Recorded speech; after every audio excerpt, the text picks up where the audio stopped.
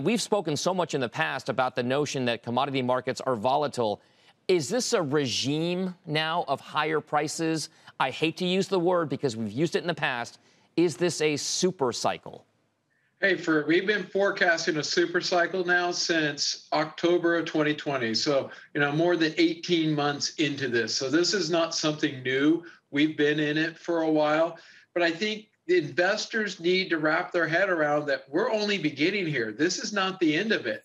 And you know, we look at investor participation, open interest in commodity markets collapsing, um, investor outflow. We have specs um, position declining. That's in commodities. Equities, energy equities, free cash flow yields tell you they're severely undervalued. In some cases, high as 30%.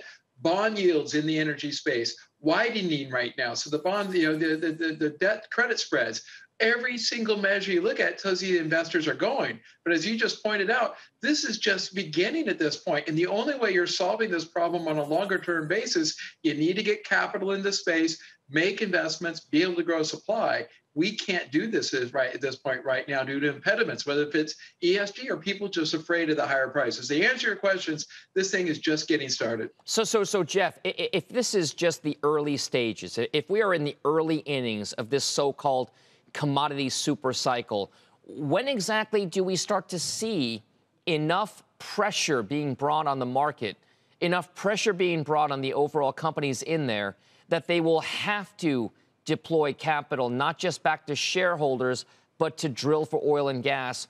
Or is that the whole world just in, in its move to clean energy maybe making these companies a little bit more apprehensive about that kind of, you know, drill baby drill mentality? It, it, has to start with the investors opening up the purse strings, making it very clear to these companies they need to invest. They need to have access to the capital. I like to say it's not about the supply and demand of the barrels of oil. It's about the supply and demand of the dollars used to create those barrels of oil. And right now we have significant impediments. But let's say, let's don't just all blame it on ESG. Let's not forget that two years ago or 23 months ago, oil prices were negative and the losses in this sector were nothing short than epic. And that's still in people's memories. So we need to see a good track record. To answer that question about when do the purse strings open up, let's go back to the previous super cycle. Prices moved up substantially in 03 and into 04. It wasn't until 06 that the purse strings opened up substantially, and it began in late 05 with the equities moving. So, you know, it, it, when you look at these histories of these super cycles, it takes a while for investors to come into this space. They want to see a track record. They want to know that the coast is clear. So, you know, we're in the process of creating that track record with good returns, um, but we have yet to see the follow through. Where, where, you know, Jeff, when you look at the, the, the overall coverage universe that you have, I mean, commodities can be any number of things.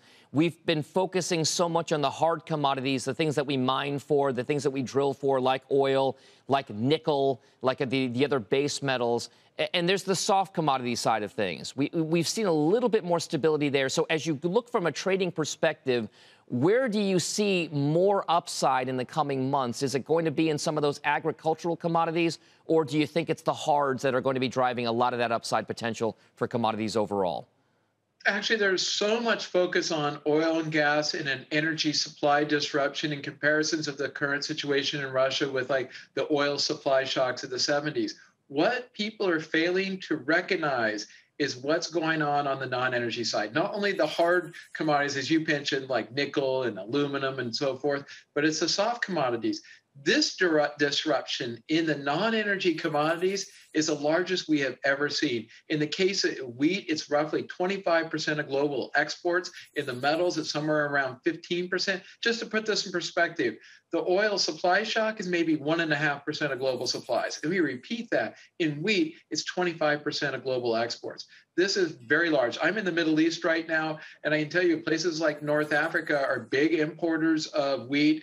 Um, and this is going to put a lot of stress on the system. Let me also remind you, the last time we had food prices at these levels, um, we ended up with, a, you know, it helped kick off the Arab Spring, which culminated in other disruptions in energy. So this is a very serious issue. People need to be focused on it. The upside in both all the non-energies, I think, is substantial at this point, particularly aluminum, copper. Um, these markets are under. So, if, you know, you ask me which one is likely to be the tightest You know, I put um, wheat and corn right up there. Um, you know, the upside and you know corn. You know, you could potentially be spiking up to you know ten dollars a bushel type levels. So you know, the risk here in in the the agriculture commodities, I think, is very significant. So so Jeff, I, I mean, th- there's no doubt your view here is that there is there is possibly more extreme upside for some of these given the supply demand dynamic. I'd be remiss if I didn't ask you if there was a base case scenario that you're referring to, but then a bear case scenario where you see a lot of these things reversing course. What would have to happen for that thesis of yours right now to come under pressure and we see those commodity prices actually fall? The biggest risk here is that the supply shortages do so much da- damage to demand. Remember, demand destruction is not prices going high and killing off demand if you think about it this way, it's supply coming out of the market, the demand tied to that supply has to be reduced, and the prices rise to the point of the last consumer still standing. That's what demand destruction is. But if you pull out all that supply and you create a recession, that could get you your pullback. But I want to emphasize in the 1970s super cycle, we saw three recessions one in 1970, another one in 74, and another one in 79 80. But what happened to prices? It just went like this went like that. You keep going up. What happened to the super cycle in 2008 and 9?